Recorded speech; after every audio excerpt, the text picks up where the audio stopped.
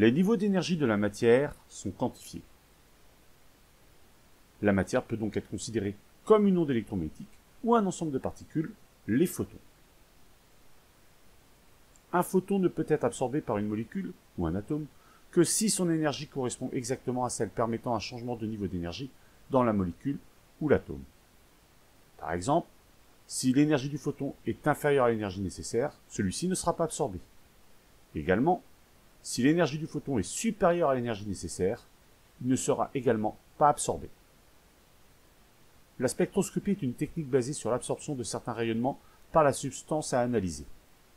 L'étude de l'intensité du rayonnement, absorbé ou réémis, en fonction de la longueur d'onde, permet de déterminer la nature et la concentration d'espèces chimiques présentes dans un échantillon de matière.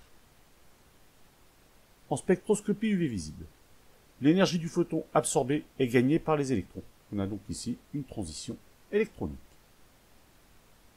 L'absorbance, grandeur sans unité, mesure la capacité d'un milieu à absorber la lumière qui le traverse. À l'aide d'un spectrophotomètre, on détermine pour chaque radiation lumineuse l'absorbance de la solution. Pour une même concentration en soluté, l'absorbance dépend de la longueur d'onde. On peut ainsi tracer A égale F de lambda, la courbe qui représente l'absorbance en fonction de la longueur d'onde. Cette courbe est appelée le spectre d'absorption.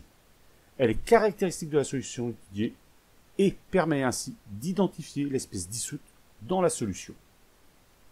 Par ailleurs, on constate sur cette courbe que l'absorbance maximale d'une solution de permanganate de potassium est de 525 nanomètres.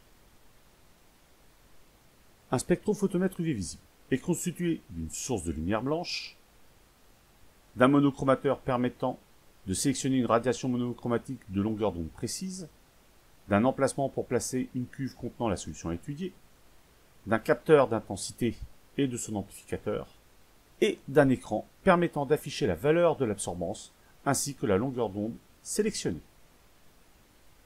L'absorbance est comprise entre 0 à l'infini, mais le spectrophotomètre mesure de 0 à 3, car pour une absorbance de 3, seulement un millième de la lumière incidente traverse la solution. Enfin, certains appareils possèdent un séparateur de faisceau. En sortie du séparateur, le faisceau traverse la cuve contenant le solvant,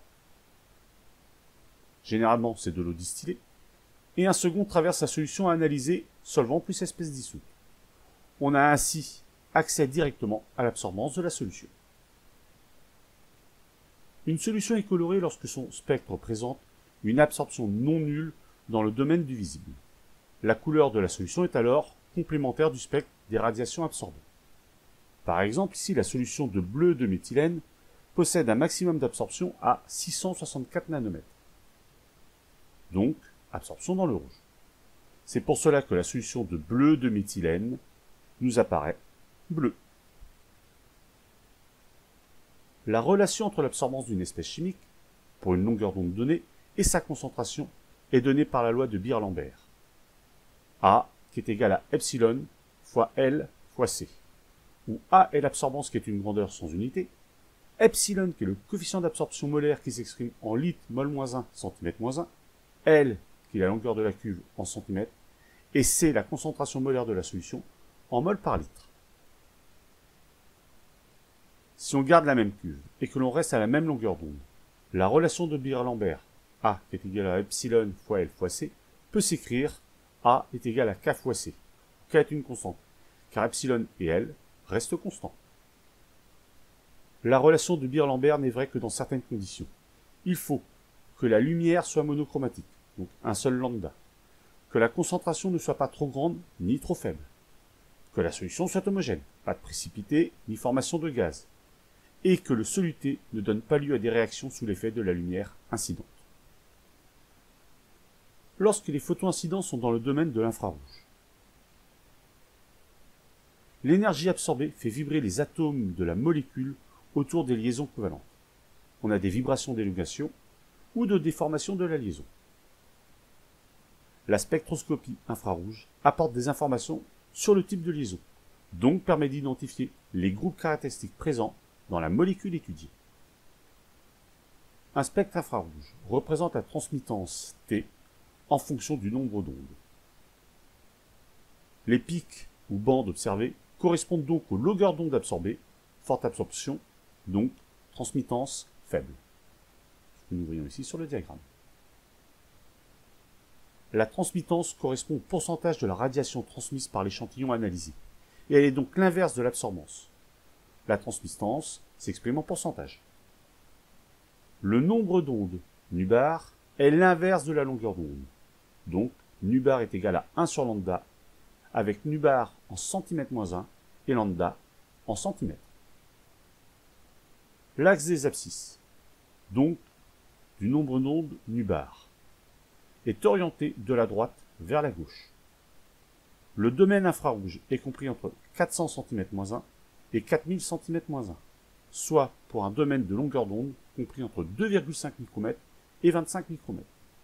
On constate donc qu'on est bien dans le domaine de l'infrarouge, car les longueurs d'onde sont supérieures à 780 nanomètres.